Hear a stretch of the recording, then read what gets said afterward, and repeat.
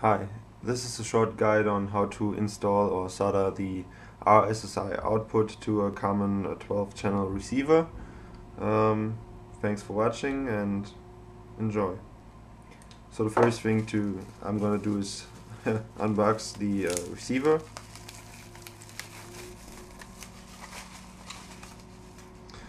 And then you need to unscrew these four screws.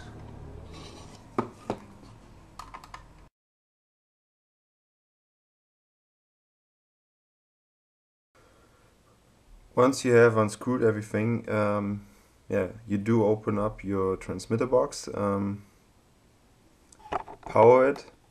Um, right now I've got channel 4 and um, do connect your video as well.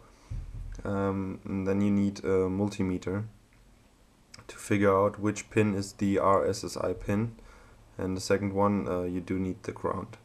So the ground is easy, um, you just tip on the on the outer plate of the uh, transmitter box and then you you you search the pins. Um, I do already know which one is it is and um, so you try it you see it's yeah 1 point 1.24 point yeah 1.25 volts.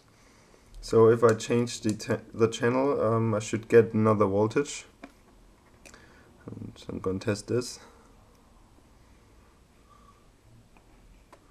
You see it's like uh, 4 volts which is uh, no connection at all and now you know um, this is your RSSI pin you gotta solder. So you do unhook everything and start soldering.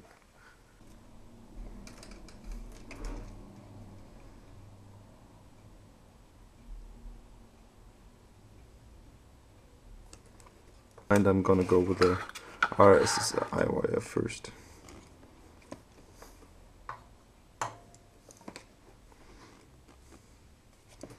This is, this is uh, really narrow.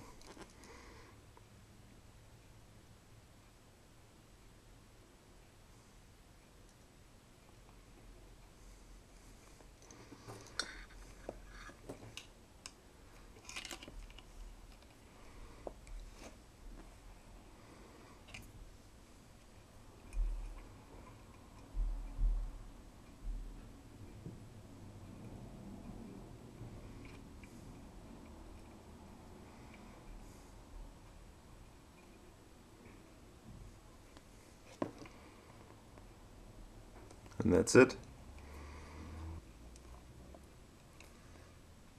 I'm just gonna select the uh, this place right here because there's solder already on.